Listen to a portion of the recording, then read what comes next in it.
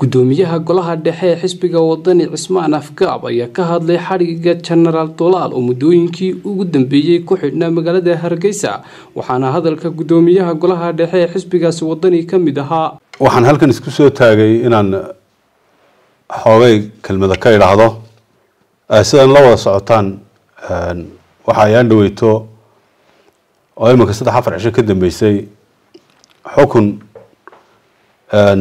uu ku dhacay oo xukun lagu dhawaaqay in xukun ku dhacay muddo laba sana lagu xukumay jeel jaac maxamuud aadan jaamac doolaal oo ah sarkaal ummadda reer somalilan ay wada taqaano. Si wanaagsanna ay uga dharagsan tahay taarikh nololeedkiisa iyo somalilan halka uu ka yahay iyo waxa uu ka ahaa somalilan iyo somalilanta maanta la harsanayo inuu yahay afraaddii tirada yarayd ama xubnihii tirada yaraa ee iyagu maanta ta maanta lagu faanayo ee la harsanayo naftooda u soo huray sharaf iyo magac weynna ku lahaa.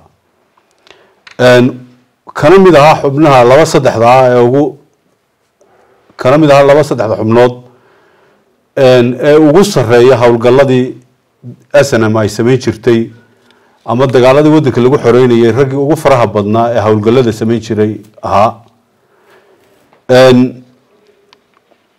waxa aynu wada dhegeysanayna oo wada maqalnay eedeymaha lagu soo eedeeyey jaamac doolaal sarkaalkaas lagu soo eedeeyey xakinka eedeynta ku dhawaaqayay ama xukun ku dhawaaqayay uu ku sheegay sheegayey in aan dembiyada lagu soo ogay aanu qabin jaamac aanu qabin.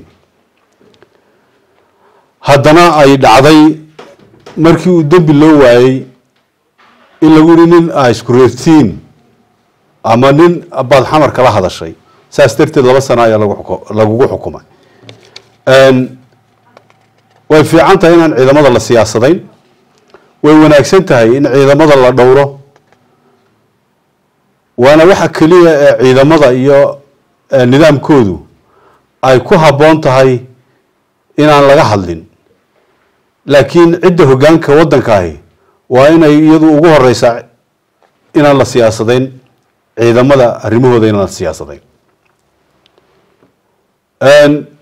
qof kasta oo maanta somaliland jooga ama xil ha ama yuu haynine ninay ilmaadeeryiin baa xamar jooga uu la hadlo madaxweynuhu maalintii dawada u xabaash ka dul hadlayay. Cabdi xaashi wuxu uhi waa mujaahid weeyaan. Dolaalna mujaahid buu noqon waaya cabdi xaashina mujaahid buu noqday. Waxay noqonaysaa siyaasadayn bay noqonaysaa.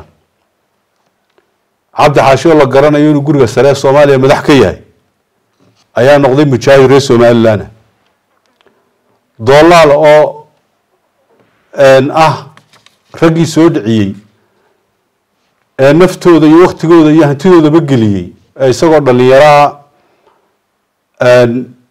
naftiisa u huray maantana inuu isagoo toddobaatan jira xadhig dulmiga uu ku galo hargeysa oo wax aada looga xumaado weeye.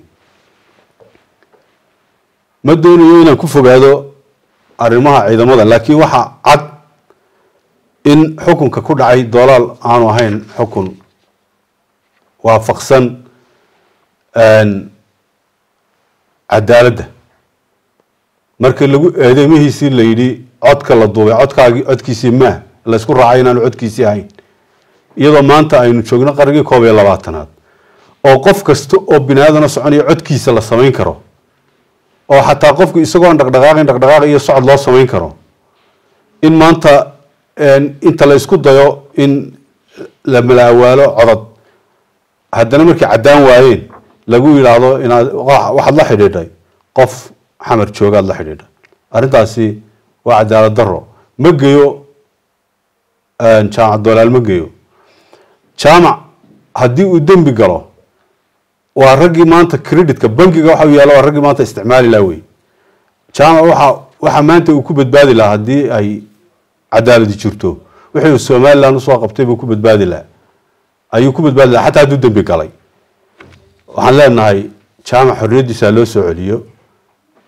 Madaxweynaha jamhuuriyadda somaliland muuse biixin waxaan leenahay. Arrintaasi waxaa loo tirinaya inay adiga ku fadhido.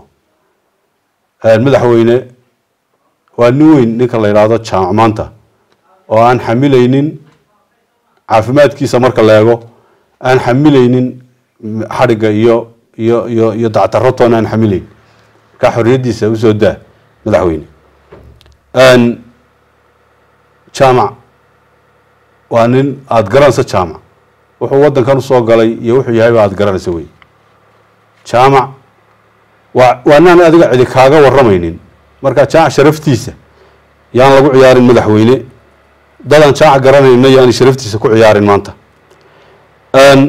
Dadka ama dadka xadhigga jaamac ka danqaday ee u mudaharaadaya magaalooyinka waxaan leenahay jaamac walaalayaal jaamac keligiin idinkama xidhna.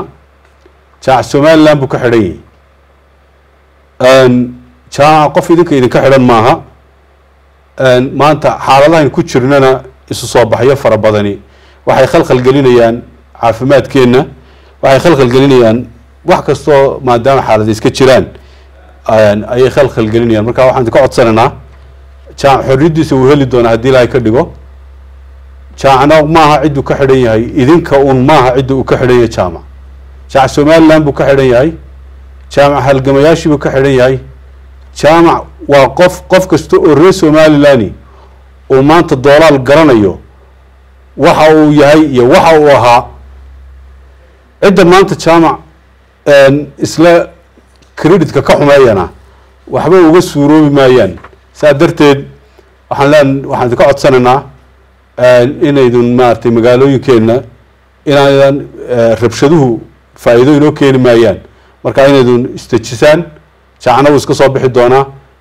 Haddii ilaahay ka dhigo oo istejisaan oo aydan maaragtay aanay khalkhal iyo nabadgelyadeenna iyo xaaladda caafimaada waddan ku jiro aanay keenin isu soo baxyadaasi iyo mudaharadaasi inaanay khalkhal inuu keenin ka codsanaynaa iska suga insha allahu taala jaac wuu soo bixi doonaa cadaaladna wuu heli doonaa. Axmed qani jaamac xirsi telefishinka star magaalada hargeysa